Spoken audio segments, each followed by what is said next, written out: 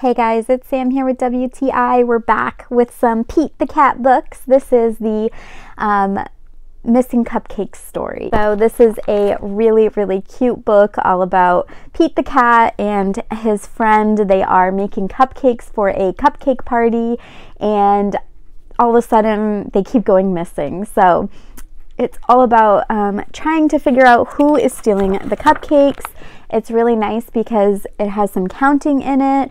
Um, they encourage your kiddo to be like, how many are left? So it's really, really great because it's helping me um, teach my son counting. It's making it fun for him. It's not like a chore. He wants to know how many cupcakes are left.